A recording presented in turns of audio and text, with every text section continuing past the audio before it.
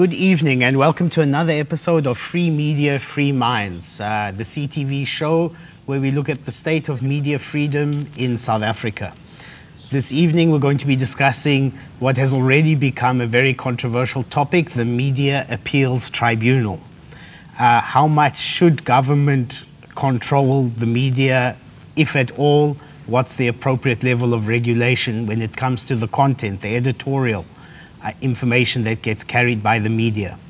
Uh, with me in the discussion, I have uh, Eric Longwa- sorry, Eric, Eric Kholwane, the pop, uh, chairperson of the Parliamentary Portfolio Committee on Communications, Juanita Williams from the South African National Editors Forum, and Lumko Mthide, who is a, a long-standing media activist and member of the African National Congress. Welcome, guys. Before we get into the conversation, we're going to have a quick look at an insert that's been prepared. Let's check it out.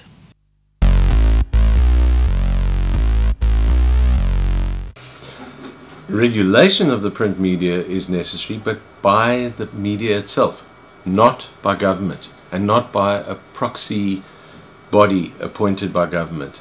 Uh, there is press regulation. There's a system of ombuds people uh, within newspapers, and then there's a there's a there's a, a, a general ombudsman, ombudsperson, who who oversees that. That kind of self-regulation is the way of democracies around the world. The ANC's been able to point out one or two exceptions, but really one or two.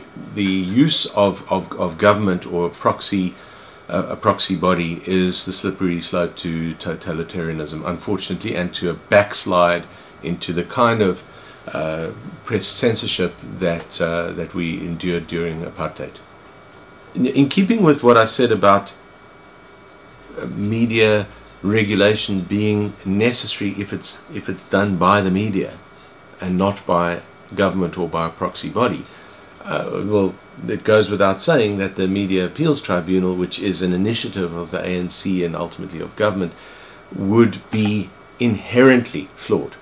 It is a body outside of media, and it is in, intending to control the media. Secrecy bill, which is another uh, in, another way that government is trying to to control not only media but the flow of information. That secrecy bill, or in in the in their terms, the protection of information bill, which might well become an act very very very shortly.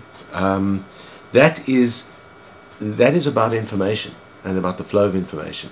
The Media Appeals Tribunal is about information and about criticism. It's about it will it will affect it will it will then directly affect people like satirists, columnists, it's any form of criticism. So that it's a double whammy for the media that you have both the Media Appeals Tribunal initiative and the Protection of Information Bill, the Secrecy Bill because they really are trying to close down both information and criticism. Uh, so I'm, I'm firmly against the, the institution at all of the Media Appeals Tribunal.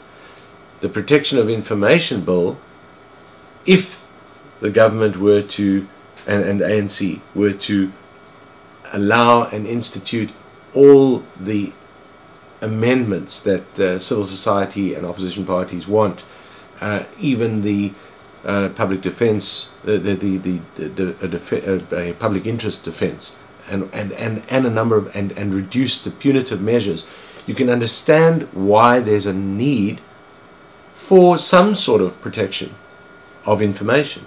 Not the way that they're doing it, but you can understand that. The Media Appeals Tribunal is an absolute no-no from the beginning.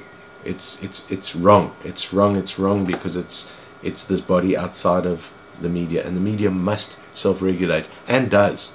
And the media in South Africa is doing a good job. We could do a, a much better job, but, but, I, but generally speaking, media has been doing a good job.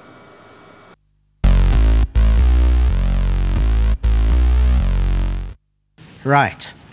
Eric, South Africa, did South Africans struggle for media freedom? Is it something we fought for, or is it, as some in the ANC have suggested, something that was forced on the people during the negotiated settlement? Um, the, the, the, the, ANC did fight for media freedom, and it, it will continue to do so. uh, and uh, it will never stop because we think that the cornerstone of uh, any democracy is around uh, media freedom. Mm. However, however, yes, yes, uh, media freedom uh, does not give a blank check. It comes with responsibility. Yeah. Everyone is supposed to comply or to con confine him, him or herself within the constitution of the country. Yeah. Everyone in the country, we are all equal. There are no, there are no other people who have uh, more equal rights than others and so on. Mm. That's why I'm saying, however, because uh, sometimes when we deal with this issue, if you look in terms of the constitution, we seem to suggest that there are other rights which are more important than other, other rights, yeah. uh, like your media uh, the freedom, uh, whether is uh, more important than uh, the right of dignity yeah. for other people and so on. So those are the things which we need to continue balance. Lumko, you, you've suggested that the government needs to play a role in, in regulating the print media. What kind of regulation would you like to see? Um, Mark, I think, I think that is incorrect. Um, uh, there hasn't been any suggestion, at least in South Africa, that suggests uh, government play a role um, or state controls or regulates print media. The suggestion that is being discussed in South Africa is that, uh, as proposed by the ANC, is that um, uh, you need to strengthen the self-regulatory system so it becomes efficient and effective. And then you complement the self-regulatory system with a, an independent um, mechanism for appeal, um, which therefore will uh, um, be independent of the, the players, independent of government, and independent of any uh, commercial interest. Mm. That, that is the independent appeals mechanism that is being suggested. Yeah. What it means simply is you um, enact a law to establish an independent um, body which uh, will be the body that if you are not satisfied with the ruling of the self-regulatory system, you can appeal through that body. But that body will be independent just like your IEC, your ICASA, your MDDA, mm. so it's not government controlled. Independent, but its mandate coming from Parliament and it's, it's the judges or staffing of it would come people appointed by the government. Juanita, is that something that the editors, I could imagine, being satisfied with, or would that curtail your press freedom? Um, I, I understand what Lumko is saying, and um, the first part of it, of course, I agree with. There has to be a regulatory body for the media. Um, the second part, as you said, um, was that where would that, where would those independent people come from? Would it be, if it, if it was an act from Parliament, then clearly the ruling party would have a big part to play in who goes onto that board or body or whatever it would be. So I don't think that it would be as independent as, as, is, as is being said here. Mm. Um, and yet I think the that the editors would be um, and have expressed unhappiness about the thought of a media appeals tribunal. Yeah. Can, can I just correct? Lumko and then Eric, please. I just want to, to correct what you're saying, Mark the, uh, uh, there is no staffing that will be determined by uh, government. But if you gave the, the, example of the IEC, the yes. IEC councillors must meet the nod of, of Parliament. Yes. And the, in fact, the, I, th I think be approved by the President. Yes. The people of South Africa nominate somebody um, through organs of civil society, individuals, etc. It's not the ruling party. It's the people of South Africa through variety of mechanisms. Then all what then happens in Parliament is to process that and manage that process. And um, South Africa being a democracy, it's not that uh, um, uh, the other parties don't have a say. There's a process, and I think um, uh, the chair of the portfolio committee mm. could possibly elaborate in terms of um, the participation through those processes. But certainly, the the proposal that uh, the ANC proposed, it it says within it that you must make sure that whatever this mechanism it is within the framework of the Constitution, which therefore uh, means uh, there will not be pre-publication censorship and so forth. So it will ensure that media freedom is still enjoyed. Secondly, it's independent, and that means a funding system, for example, needs to be um, a system that will ensure that there is uh, no, uh, the, there is a line between your, your uh, funding and hence the parliamentary role um, to determine the budget, to approve and all that. So the system that works effectively in South Africa in respect of IEC, in respect of ICASA, in respect of MDDA and all the independent institutions. Um, would the court not play that role anyway?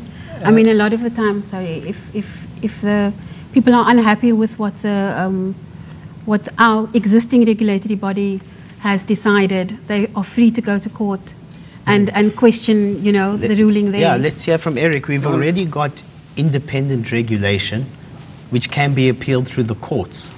Why do we need uh, government to intervene and create another layer of regulation for the media?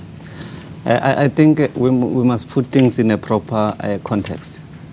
Firstly, I think there is only one institution in the country which is democratic, it's only parliament. Not the media, no one else. It's only parliament. It's only parliament which exists because of South African exercising their rights to vote. Any person who questions that that parliament is the only democratic institution, there's something wrong with that person. Because yeah. not even the media itself, the owners or the editors are a democratic institution. It's but only I'm, parliament. I'm reminded of now, I'm, now, I'm reminded of Galileo and the principle of the, major, the majority of one. One guy said the world was round. Yes. Everyone at his time insisted it was flat, and he was persecuted what about the freedom of the one person to tell the truth, publish it, and promote it without being subjected to what would essentially, in Galileo's time, be the tyranny of the majority? No, no, no. You see, the issue is that uh, in any environment, you have to accept the reality which exists in a particular time. Uh, as we speak now in South Africa, the only democratic institution is parliament. If there is any institution to protect the rights and freedom of South Africans, it's parliament. It can be editors or print media owners and so on. Mm -hmm. Now, I'm arguing the point that which seeks to suggest that if Parliament is doing something, it becomes wrong because uh, there are political parties, there's a dominant and so on. Indeed, the ruling party is dominating because South Africans wanted to dominate in terms of how they vote. Mm. So we can't question that. So we must just put that aside. It's not an issue. And Parliament is the independent, is, is, is only democratic institution. The issue here is that uh, we are dealing with IEC, a very sensitive institution which is running our election, which the, those commissioners are elected by parliament. Why there is no crisis? Yeah. Everyone uh, support uh, IEC, enjoy the support of each and everyone in the country. There's yeah. no crisis. Why is going to be a crisis when parliament appoints a, a body which is going to make sure that South Africans can go to when they feel that sure. have, uh, uh, something wrong has been done about them and so on. Uh, of course, even if you do that, you still have your recourse to go to, to the courts. No one will sure. say if you don't feel that you have been uh, treated unfairly by even that, that uh, appeals board, you are not going to go to court. You still go, go to sure. court. Okay, we're going to take a quick ad break and come back to continue this discussion. We'll be back right after this break.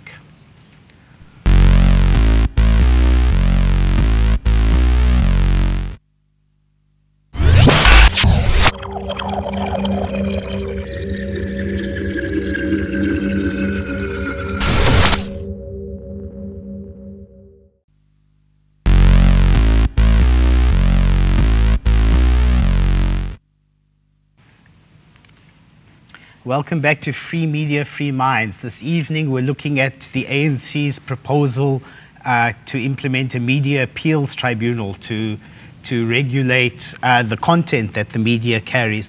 Juanita, Eric's been saying that Parliament is the only truly democratic body. It's, it is the only elected body in South Africa. Mm -hmm. What is the media's role in democracy? That's a big question. Um, I think that uh, the media's role in democracy is to make sure that people have as much information to make their decisions as possible. So decisions around um, which political party they, they want to vote for, decisions around um, you know whether whether they can trust certain bodies.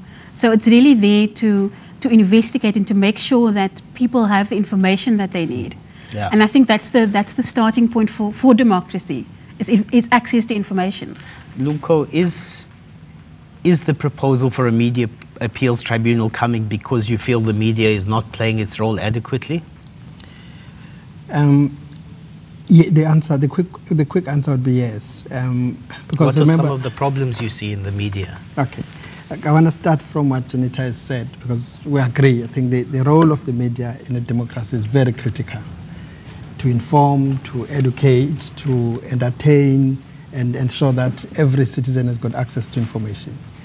Um, and we can reflect in respect of South Africa whether that role is adequately being played. That's another debate.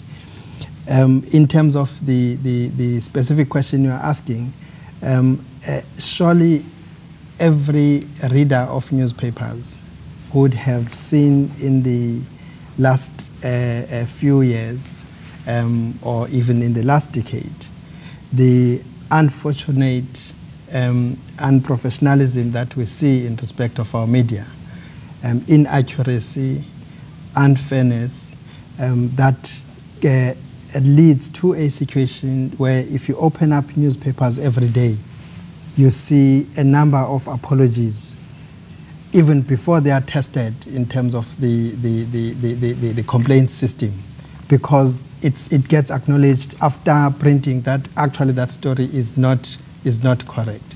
Um, I wanted to also talk to what Juanita was saying earlier on, which is that um, the, the, one of the problems um, uh, that exist uh, or existed uh, uh, uh in respect of self-regulation in South Africa, which is not independent regulation, is self-regulation, mm. funded, housed, by the print media owners who are four big um, uh, media in South Africa.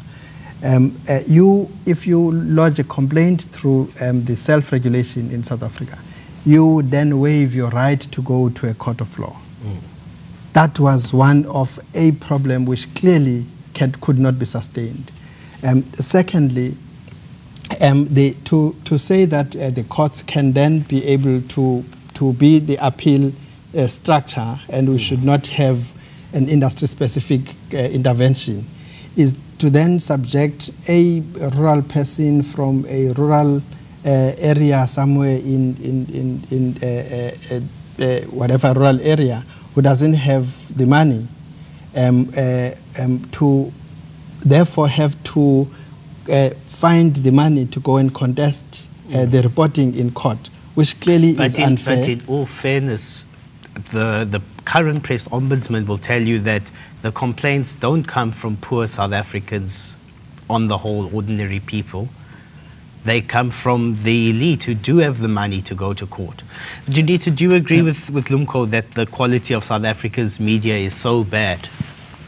Um, I wouldn't say that it is so bad. I know that there have been challenges in the past couple of years where, um, because of and, and I know there's a lot of talk has gone around about the juniorization of newsrooms, and that's a completely different mm. issue. And we could probably spend all night speaking about that because education, the training of journalists needs to be looked at.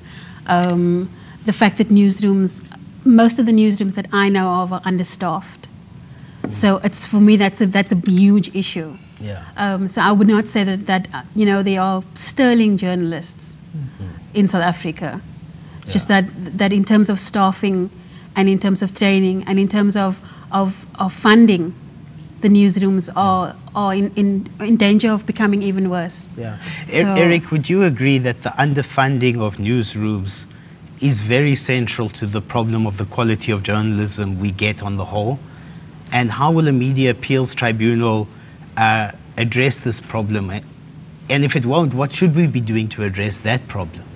I think uh, one issue is that um, if you read a, a, report or research which has been done, from 1996 we have your ta ComTask report uh, which was done, which clearly point to the issue which we are talking about of underfunding. Uh, the only thing which I don't understand is that from 1996 until 2011, people have still not made their mind in terms of making sure that they capacitate their journalists so that they can report quality and they continue uh, uh, singing the same song with everyone else, but they've got the responsibility to make sure that they capacitate their journalists so that they are able to report quality zone. From 1996 report ComTask point to that direction. Till today, that matter I don't think has been sufficiently been attended. Hence what we are talking about in terms of investment to journalists, in terms of capacitating them to be able to report uh, accurate uh, and so. But, but, the issue of media appeals tribunal, I would think that uh, it will address what you have said originally, uh, to say you see only the elite are approaching the courts in order to deal with whatever wrong which they feel has been done. Yes, it should be so, because poor people cannot afford. That's precisely why we are saying must have this media appeals tribunal, which will be open for everyone, for every South African, without uh, uh, any position you occupy. Mm -hmm. That's what. That's one of the reasons we want it to say it must be there. Be Sure, to come in. What Eric said. Um, I think the the the challenge that we face with, with journalists being underskilled does not start when they suddenly when they leave university and they're thrown into the workplace.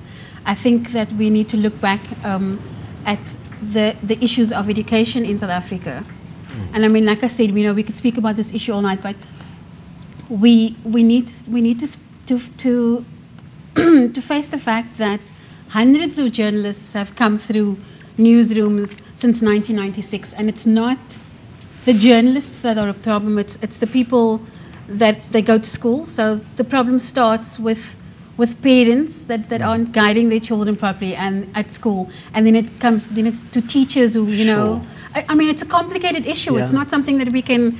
You know, you can't put it in so, a nutshell. So, so Lumko, is there not a, a real risk that an appeals tribunal will be a disincentive towards risky journalism?